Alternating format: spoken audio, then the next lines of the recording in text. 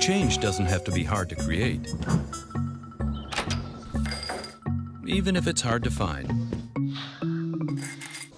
Your donation to Ronald McDonald House helps keep families of hospitalized children together.